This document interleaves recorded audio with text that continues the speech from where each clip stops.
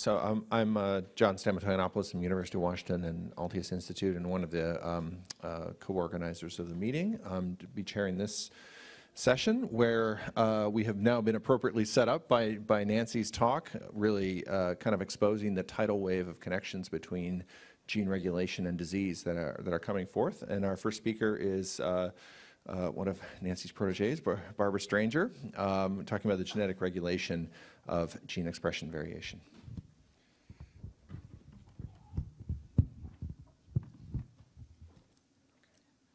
All right, thank you. It's a real pleasure to be here. Um, I really appreciate the invitation to tell you about some of our work. So um, I've been working on the genetics of gene expression regulation for a while, and I'm going to tell you about one particular project um, in, in immunology that we've been doing. So the project is the Immunological Variation Project, and I'm going to tell you about how we've done QTL mapping um, in baseline cells, but also in activated cells uh, representing adaptive and innate immunity. And we're looking really at context specificity of associations. So really interested in this question of what does a particular polymorphism do? Does that function change with context? We're going to talk about how this helps us to understand disease risk, um, and, and not just in resting cells, but also in individuals' response to, to various stimuli and being activated. So let me start by telling you about the project. The, the goal of this was really trying to understand how genetic variation translates into gene expression variation among individuals in both adaptive and innate immunity and how that relates to higher order phenotypes. So this, this is a collaborative project that was started when I was at Harvard and so involves a lot of people at Harvard, also Stanford. And um, we collected a cohort of just over 400 individuals in the Boston area representing three different ancestry groups, so European Americans, African Americans, and East Asians. We sorted cells, CD4 T cells and monocytes from all of these individuals. And we also had two branches of the study where we activated all of these people's T cells and where we activated monocyte-derived dendritic cells for all these people. But I'm first going to focus just on the baseline QTLs in these two cell types. So we did transcriptome profiling on arrays at the time. This was a pretty big project in terms of the number of conditions and states and populations that we were doing. So unfortunately, we didn't have RNA-seq for this, but we did have the um, exon arrays and uh, genotyping all these people. And we did eQTL mapping both cis and trans, but I'm going to focus on the cis eQTL analysis. So for every gene, what we did is we defined a window around each of the genes, so a two megabase window around the genes, and we're trying to test for association between SNPs in that region and expression levels. And so what we're looking for are patterns of what you see in this kind of this example here, where there's a SNP where the individuals, each represented by a dot, are associated, um, the genotypes are associated with expression levels. So you see the people carrying the T allele have lower expression. This is what we're looking for. And for those of you do, interested in sort of the technical details, you can see how we built the model and how we assess for significance. But the key um, for everybody to know is that we analyze each of these populations and cell types separately. And then we also do a multi-ethnic meta-analysis for each of the cell types. All right, so this, um, I don't want you to really focus too much on the numbers in these plots, but, or in this table. What I do want you to see that didn't come out very well, I'm sorry, um, is, the, uh, is the numbers of genes that we're detecting with at least one cis-associated SNP um, are what you're seeing in this column here, and it scales with the sample size, right? Here's the sample size for each of those that went into the analysis. And um, we do see more EQTLs in the monocytes than in the T cells, and um, if you look across these rows, you can sort of get it, some idea about sharing. But we're going to get into the details of sharing across populations and across cell types in just a minute. All right, so this is a big overview of Manhattan plot of the associations. Each one of these dots is the most significant SNP for each gene that had an EQTL um, throughout the distribution of the genome. And so um, in the top panel, those are the monocyte EQTLs, and the strength of the association is, is going up the axis. And in, in the bottom panel um, are the T cells, and the strength of the association going down. And so highlighted are some key immune genes people might be familiar with. You notice these are pretty strong, some of these associations. These are on a log 10 scale at the p-values. We did um, notice something interesting here too. I just wanted to point out that about 17% of the genes that were that we identified as having a cis-EQTL had more than one signal. So if you condition on the most significant SNP, there was still another significant SNP there suggesting um, more than one regulatory variant in the region. And so on a whole, about 30, 30% of the genes that we tested had at least one cis-EQTL. All right, so let's talk about context specificity for a second. So in the in EQTLs, I'm going to just give you sort of some cartoon examples of how you could imagine manifesting context specificity. So if you think of two conditions, this could be two different cell types. In our case, it could be different populations, could be males and females, activated, not activated. So you can think of an EQTL being present in one condition and absent in the other condition. So this is just kind of a cartoon of the association to, of a SNP to expression of a gene. You could have a case where you've got a single gene that has an EQTL in both conditions, but it's actually associated with different SNPs. You could imagine a SNP associating with one gene in one condition, but different genes in a different condition. You can have changes in effect size. So here you see an association where there's a large fold change, but in the other condition smaller. And you can even have these cases like you see down here, where the allelic direction flips. So the high expressing allele in one condition is the lower expressing allele in the other condition. All right, so what do we see? So first we can ask the question about population specificity of the cis-EQTLs, because we have these three ancestry groups. So we see that only about 4 to 6% of the cis-EQTLs are population specific. And most of these are driven actually by allele frequency differences. Um, but there are some where the allele frequencies are exactly the same, and yet the association is present and absent um, in, in one of the populations at least. And so um, we can ask about the shared associations and say, well, what about this effect size modulation? Do we see much of that? And actually, we see they're very highly correlated, the effect sizes across populations for the shared EQTLs. So there really isn't much in the way of this presence absence or effect size differences across the populations. But these, the things that we do see that are different, they might be really important for population diverged phenotypes. Here's some examples of the population-specific EQTLs. So in the panels over here, we're looking at um, associations in each of the populations. So the, there's African Americans, Europeans, and the East Asians, and a gene and SNP, and we're showing what the associations look like in each of the populations. So in this top panel, you see a European-specific EQTL. In this panel, you see a African American EQTL that's not present in the others. And here you see an East Asian specific cis EQTL. This one over here, this gene tarsal2, show, this um, shows an association only in the Europeans, not in the African Americans or East Asians.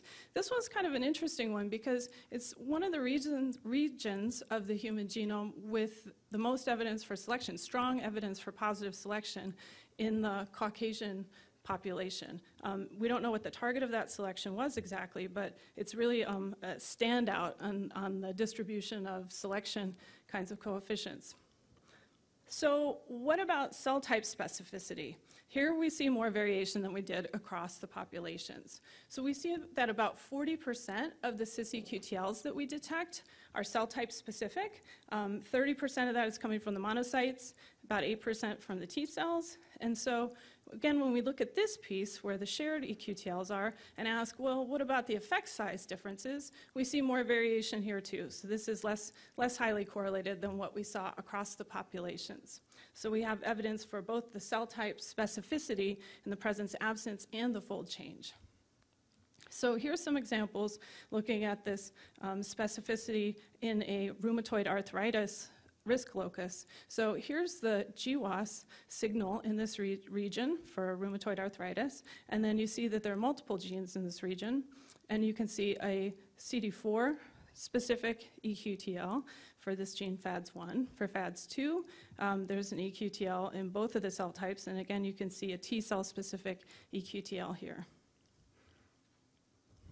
I mentioned that one of the ways that you can have context specificity involves flipping of direction of the allelic effect, and that's exactly what's shown in this plot for the gene CD52. So the top panel shows the EQTL across populations in the monocytes, And so you see that the T allele is the high expressing in each of the populations. So this is significant in all three populations.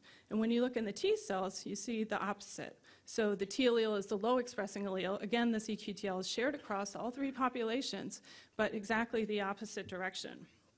And this particular association, um, or this particular gene, I should say, is a drug target for chronic lymphocytic leukemia.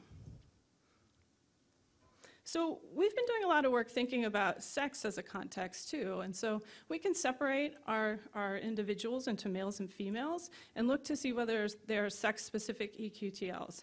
Now, I've purposely put an X here, X percent of cis EQTLs exhibit sex bias, because we're not quite sure what that number is yet. We're still trying to work out how we assess the significance of this. It's, it's tricky. Um, but we're looking for patterns like what you see in this example here. And we do see associations that look like this, some even much stronger than what we see here.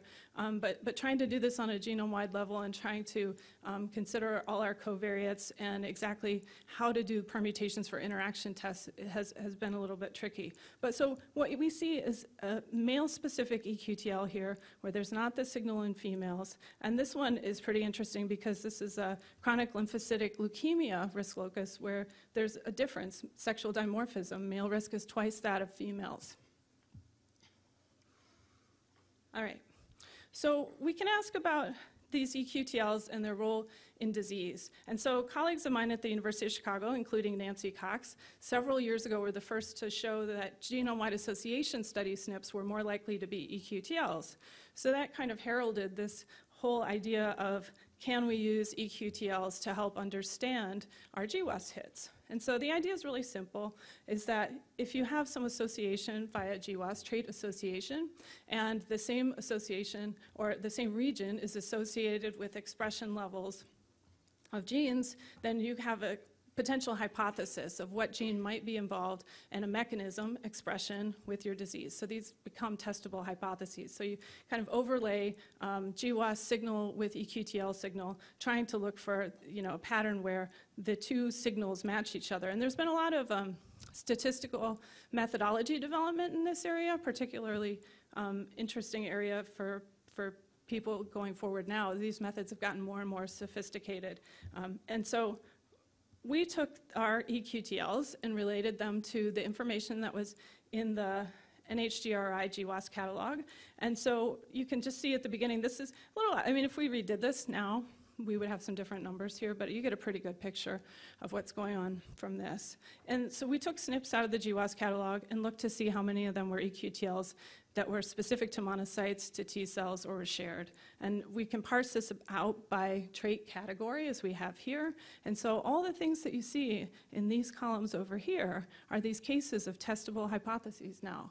So we have a GWAS signal, we have a SNP associated with a particular gene, and we know something about the risk allele and which way it's influencing expression of those genes. But these are immune cells, so I didn't show you anything here about the immune traits. So we can do the same thing, parsing out across the autoimmune disease SNPs, and we end up, you can look at the numbers here. These are the number of SNPs that went into the analysis that we were looking at, and then how many genes had an EQTL for them in our study. And you can, down here at the bottom, see, see some of these totals. And so we used one of the metrics that I was telling you about, one of the statistics, trying to say whether the same causal variant is likely to underlie the EQTL and the GWAS hit. And we come up with, um, for the T cells, 106 genes, and monocytes, 123, 123 genes. And so there's really a lot um, of data mining that you can do with this, and, and there are people following up many of these studies with studies right now. So one of the things, we have these two cell types, so we can ask are particular traits associated with regulatory variation in one of the two cell types more than the other cell type.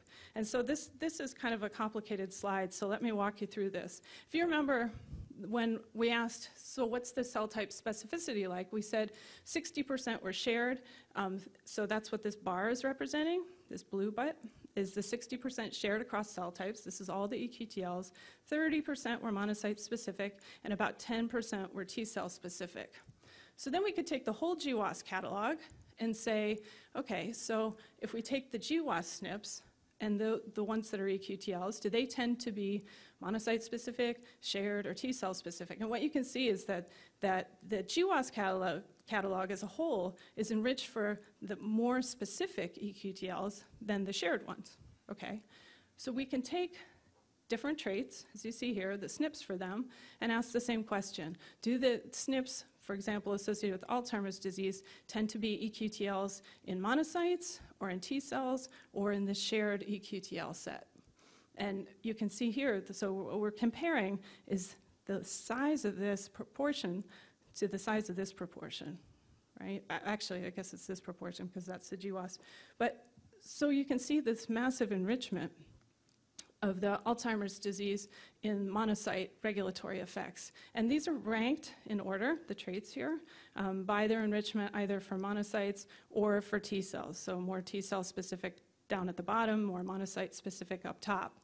And we can take those SNPs, so it's not just a matter of overlapping this and saying one is more, um, is more likely than the other, but we can actually go and do some permutations or develop a background. So we can take the Alzheimer's disease SNPs and go and get matched sets of them and do this over and over and over and say how often do we end up with um, as drastic a pattern as you see here. And that's what we've done, and that's where we get the p-values. So you see these traits are significantly enriched for the monocyte specific and these traits for T cell specific signals.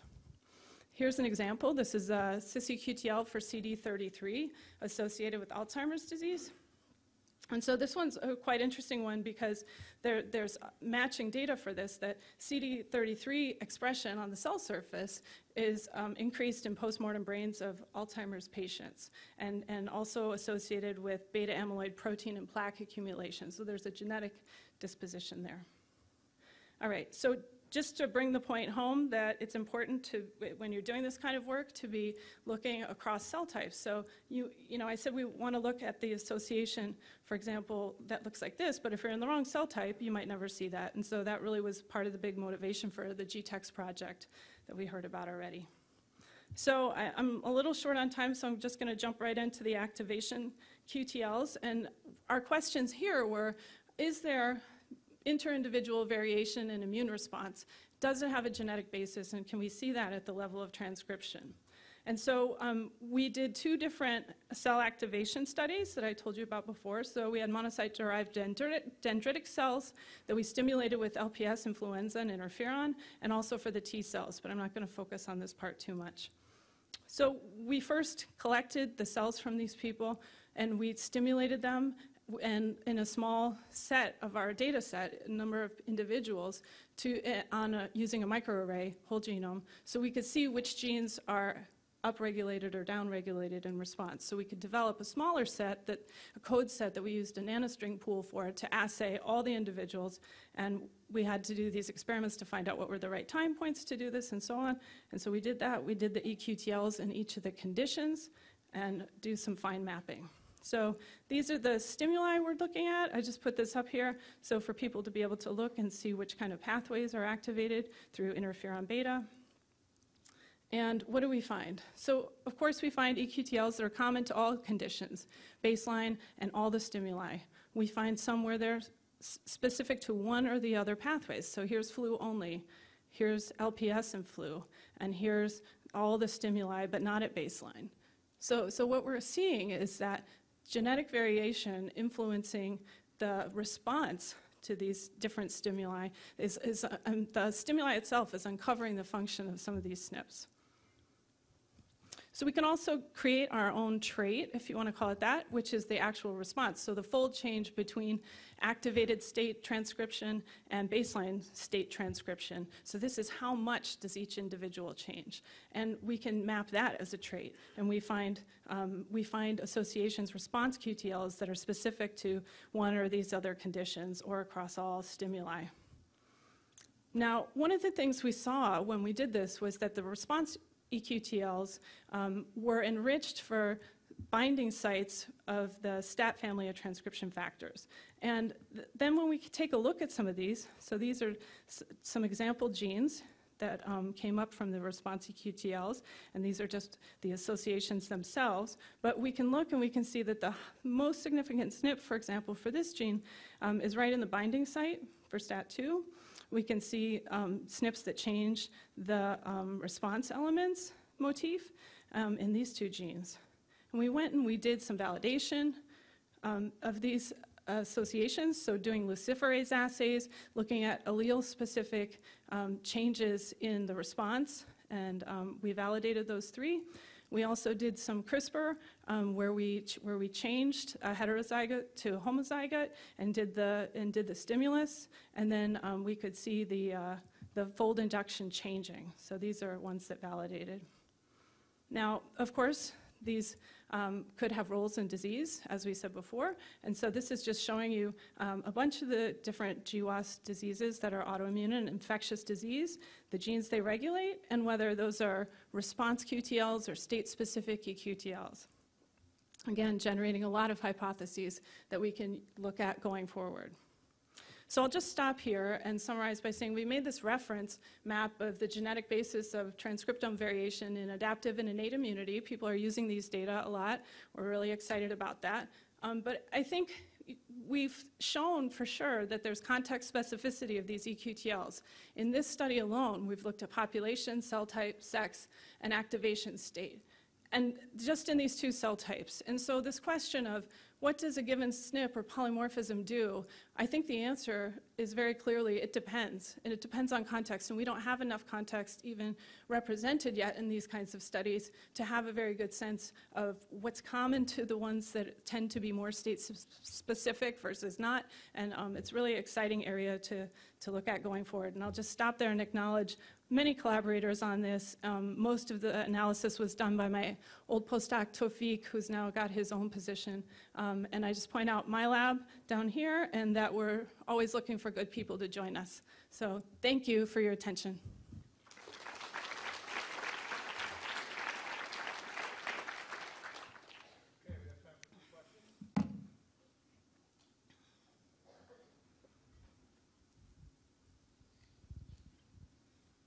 So context specificity is kind of a, uh, I'll throw out a question before. She's got one. We did, we did. Um, we're pretty underpowered for that. The question, I'm sorry, let me repeat, was did we look at trans EQTLs? And the answer is that yes, we did. We're pretty underpowered to do that, even in the meta-analysis framework, because we're only at 500 individuals. Um, and there are cell type specificity between the trans EQTLs. Um, but it's sort of hard to know whether those might just be false positives that don't replicate. It's kind of a tricky thing with the trans.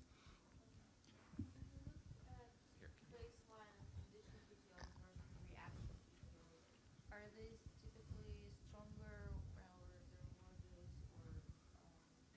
or Yeah, I, I can repeat the question, sure. So the, so the question was, um, is there a difference in, in the strength of associations for context-specific versus shared EQTLs? Is that right? really? Oh, okay. Is there a difference between uh, how well between um, specific context versus the reaction QTLs?